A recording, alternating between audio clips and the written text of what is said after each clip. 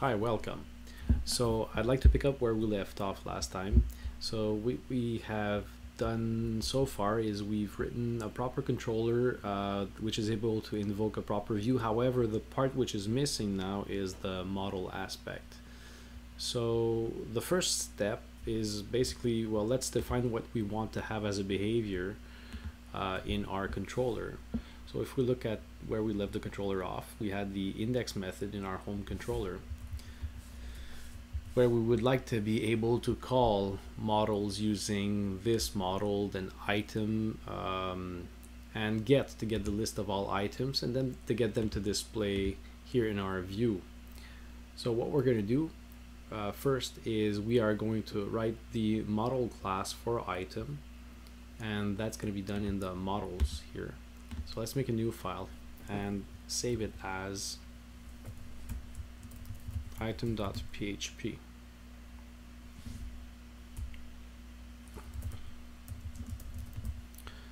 Um, so we start the file with the open and we end it with the closing class item.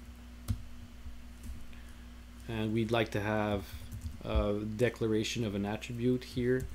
And name is the attribute we were using in our view. So if we look at our view again I believe no this is not the view the view is home index we're trying to get the name of the item. This is the part we care about.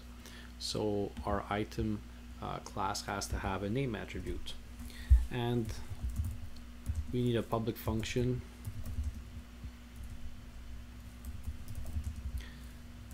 Get uh, for which the role is going to be to basically run a command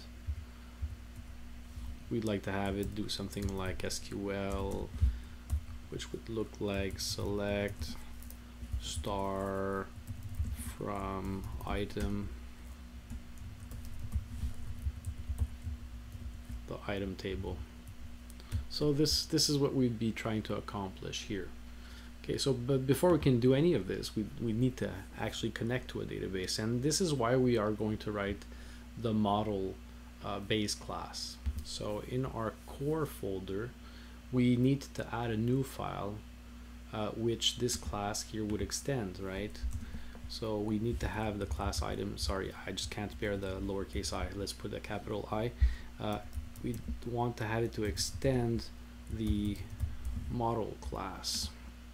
This is what we'd like to accomplish here and have the model class uh, perform all of the connection stuff to the database. So let's make a new file in core. Let's save it as model.php.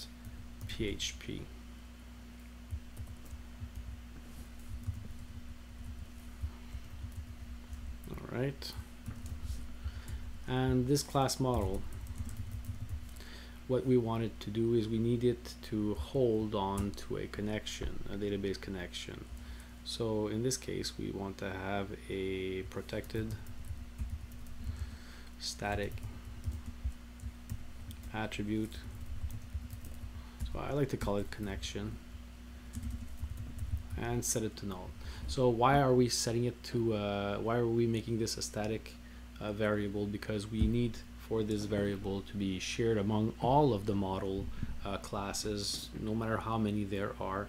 We need to have only one connection for all of our model objects throughout all of the classes which will derive from this model class. Alright, now let's write a function, a public function rather.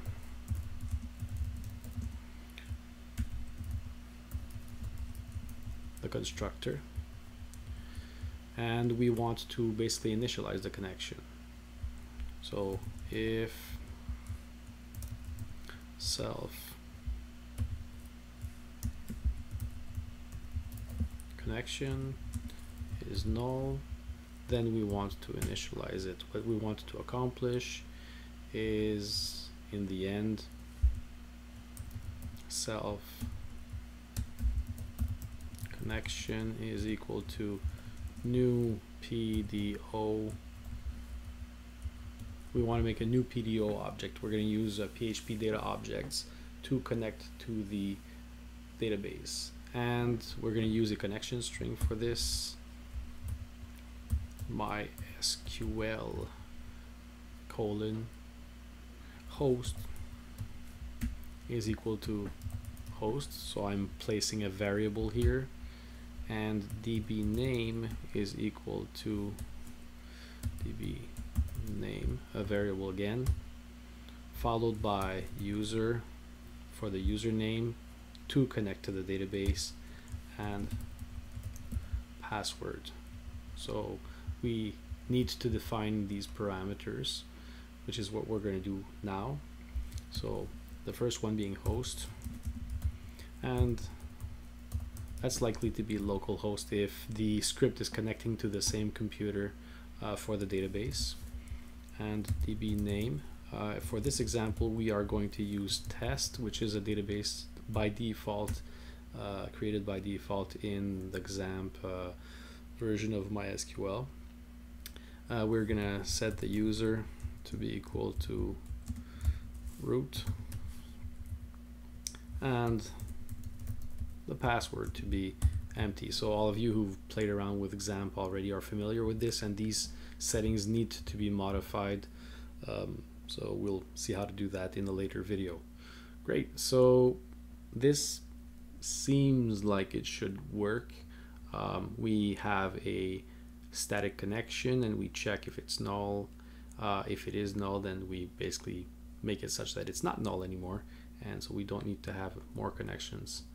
Great. So now our item, um, our item class, what we want to do here is we'd like to um, make it access a database.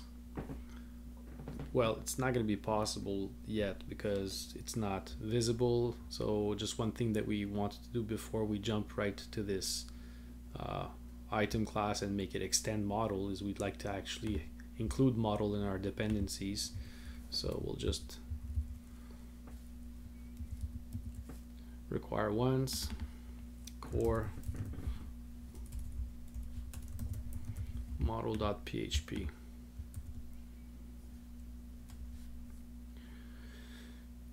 And now back to our item.php.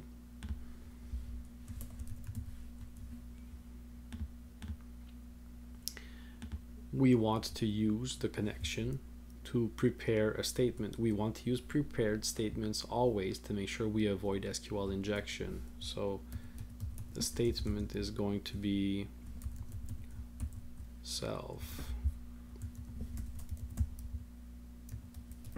connection arrow prepare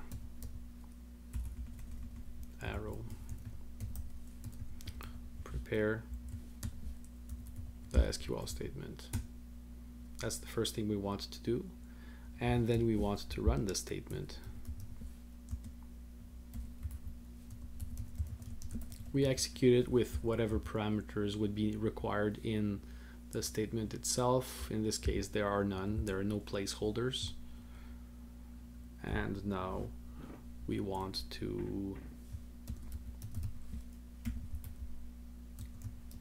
set the fetch mode to PDO uh, fetch class. And we want to set the class to be of class item. Great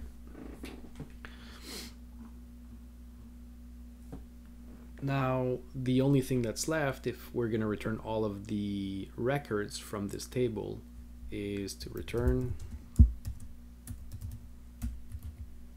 the statements fetch all. So there's two statements we can use, fetch or fetch all. Fetch all returns an array and fetch returns a single record. So in this case, I, when I write the function get, I want to get the collection of all the records that are in the table. So that's what I do. So this is getting me all the records in the table and returning these. All right. So I have the model which connects to the database. I have the item model here which gets the data and I have the home controller which makes use of this and then sends that data to the view. We'll save that. You know, we need to have a table to use in our database. So I'm going to go back to my XAMPP control panel and click on admin here to bring up the PHP admin. Um, so with PHP admin you can manage your database and in this example I'm using the test database. So what I want to do is I want to create a new uh, database. In this case I just need to have two columns and the name of this is item. I'll click go item ID will be my primary key. I set this to be an auto increment key. Name varchar 50. So varchar is a variable length string and I want it to have a maximum length of 50.